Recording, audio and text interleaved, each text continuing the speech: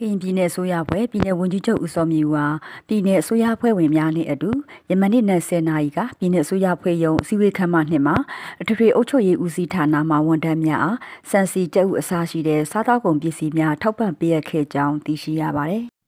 အဲ့လိုထောက်ပံ့ပေးရမှာပြည်내ဝန်ကြီးချုပ်ကဌာန၏မူဝါဒများရည်ရွယ်ချက်ရည်မှန်းချက်များအခါအားလျော်စွာထုတ်ပြန်တဲ့အမိန့်နှင့်ညွှန်ကြားချက်များကိုသိရှိနားလည်ပြီးပေးရသည့်တာဝန်နှင့်ဝတ္တရားများကိုကြေပွန်စွာထမ်းဆောင်နိုင်တဲ့အရေးချင်းရှိတဲ့ဗတ်ပေါင်းစုံထူးချွန်သောစံနမူနာပြဖြစ်တဲ့ဝန်ထမ်းကောင်းများအဖြစ်စူးစမ်းကြင်ကြံနေထိုင်ကြစီလိုကြောင်းဌာနအားလုံးနှင့်ထိတွေ့ဆက်ဆံရတဲ့အတွက်သက်ဆိုင်ရာဌာနများအလိုက်ထုတ်ပြန်ထားတဲ့ဥပဒေနည်းဥပဒေများကိုဖတ်မှတ်လေ့လာသိရှိထားကြဖို့လိုက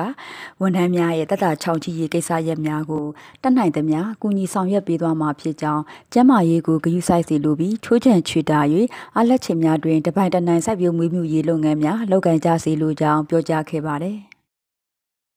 အဲ့ဒီနောက်ပြည်내ဝန်ကြီးချုပ်ကဝန်တန်းတအုပ်လျင်စံ6ပြည်စီ90ကျပ်သားကျပ်ဥ10လုံးနှုံပြီးစုစုပေါင်းငွေကျပ် 83သိန်း9200တန်ဖိုးရှိတဲ့စားသောက်ကုန်ပစ္စည်းများထောက်ပံ့ပေးရပြီးဝန်ထမ်းများအားတဦးချင်းရင်းနှီးတွဲဆုံနှုတ်ဆက်၍အားပေးစကားများပြောကြားခဲ့ကြောင်းသိရှိရပါတယ်။ဒီသတင်းကိုခရိုင်ပြန်ဆက်ကရိုက်ကူးပေးပို့တာဖြစ်ပါတယ်။